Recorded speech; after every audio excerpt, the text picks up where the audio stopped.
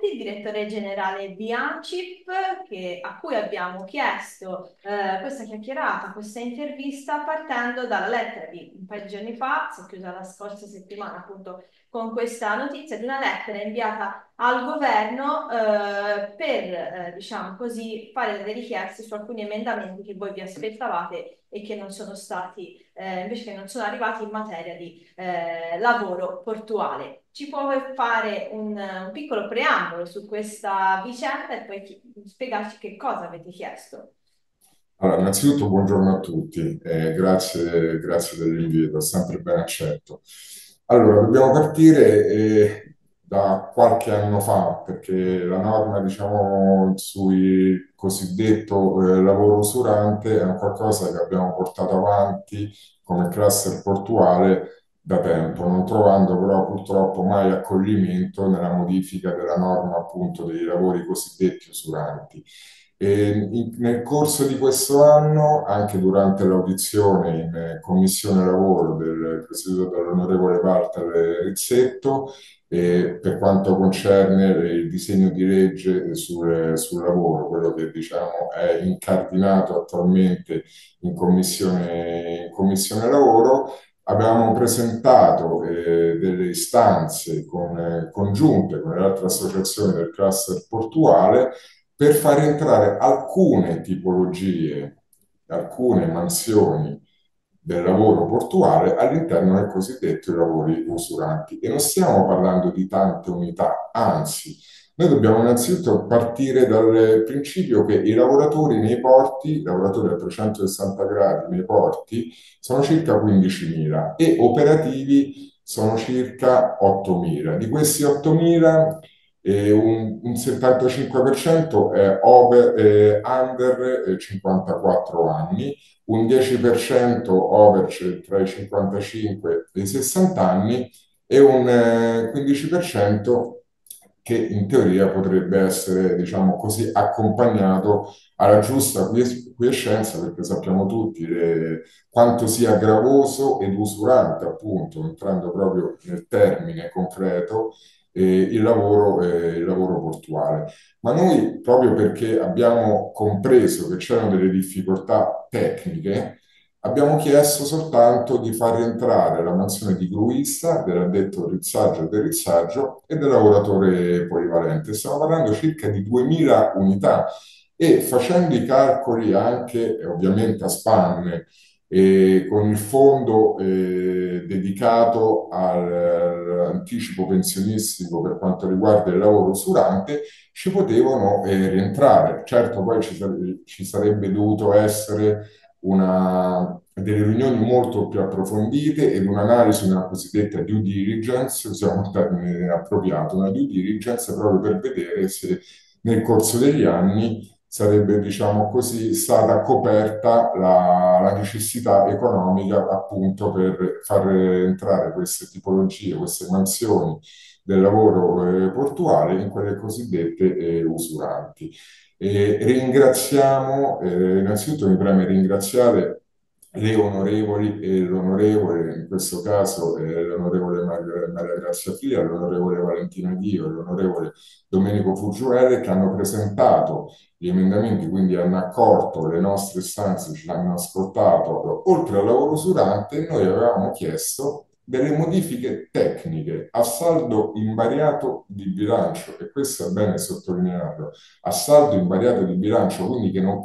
eh, comportava ulteriore eh, sborso economico da parte dello Stato, delle modifiche tecniche al cosiddetto fondo di accompagnamento all'esodo per i lavoratori dei porti. E questa, eh, queste modifiche sono, eh, sono, essenzialmente basate su delle interlocuzioni che abbiamo avuto con il Ministero del Lavoro, con il Ministero del Lavoro e delle politiche sociali, il Ministero dell'Economia e Finanze, perché poi, come dice attualmente la norma che è vigente, in vigore da circa tre anni,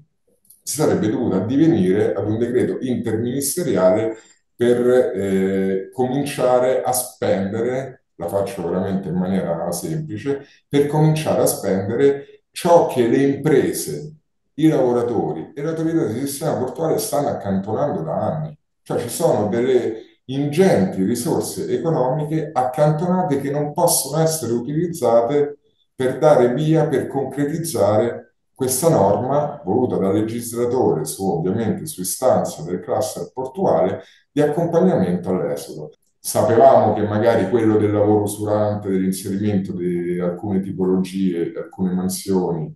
eh, del lavoro portuale in, in quello usurante avrebbe trovato delle difficoltà. Non pensavamo invece che la modifica tecnica e quindi non economica del fondo di accompagnamento all'esito avrebbe avuto queste problematiche. Quindi per capire, c'è un fondo già riempito dai lavoratori e chiedo anche dalle DSP? C'è questo fondo? Assolutamente sì. Eh, Assolutamente sì, perché questo fondo è stato creato per i lavoratori delle imprese articolo 16, per i lavoratori per i terminal articolo 18, per i lavoratori dell'autorità di sistema portuale e per anche per quelle eh, società di servizi di interesse economico generale, quindi stiamo parlando di stazioni passeggeri o anche SIE che, che operano dentro i porti, che eh, applicano il contratto collettivo nazionale dei porti. Gli articoli 17, quindi le, i somministratori di manodopera, semplificando le compagnie portuali, sono escluse da questo fondo perché loro, visto che operano in regime di monopolio legale eh, a seguito di un bando di gara che eh, viene aggiudicato, hanno il famoso fondo articolo 17,15 bis. Quindi sarebbe stato un doppione, poi ci sarebbe stata una sovrapposizione anche di eh, stratificazione normativa che avrebbe potuto creare dei problemi. Quindi il fondo riguarda tutti i lavoratori dei porti tranne eh, quelli degli articoli 17, per ovvi motivi giuridici. Quindi, dicevamo, c'è questo fondo, i soldi ci sono, mancava, diciamo, solo la, eh, la parte, appunto, detto tecnica, quindi eh, la normativa che regolava, capisco, come erogare questo fondo, si è detto di no. Prossimo, prossimo tavolo, prossima partita, quando sarà? Eh, guarda, eh, devo essere sincero, eh, ci sono state delle, delle telefonate con gli onorevoli e l'onorevole che hanno presentato questi emendamenti, ma non solo con loro, anche con la Commissione Lavoro, con eh, il Presidente della Commissione Trasporti. Eh, diciamo, la, la, politica sta sul pezzo, ecco. Anche il Ministero delle Infrastrutture e Trasporti, che ringrazio sempre, nella persona della dottoressa Di Matteo, nella persona del dottor Donato Rigori, vice, vice ministro, tutta la struttura ministeriale è sul pezzo per quanto riguarda questo, questo fondo, anche perché noi eh, fummo convocati, se, non vado, se non ricordo male, circa due mesi fa, proprio su queste tematiche, a, a corollario, uso questo termine, non proprio appropriato, a corollario del rinnovo del contratto collettivo nazionale dei porti. Ed è un tema sentito anche da, dagli amici del sindacato, ho visto anche delle uscite del, del sindacato che eh, diciamo così, eh, si faceva parte attiva verso la politica istituzionale affinché almeno quello delle modifiche tecniche del fondo di accompagnamento all'esodo venissero accolte. Mi conosci, sono una persona che eh, dice anche quello che pensa, Onestamente non so cosa sia successo, presumo che sia stato uno dei tanti purtroppo cortocircuiti istituzionali che avvengono durante questi, questi disegni di legge, ma sono abbastanza positivo, la penso abbastanza in maniera positiva affinché si possa raggiungere, diciamo così, si possa portare a compimento perlomeno questo del di questi emendamenti del fondo di accompagnamento all'estero, che ripeto sono stati redatti sulla base delle indicazioni che abbiamo avuto.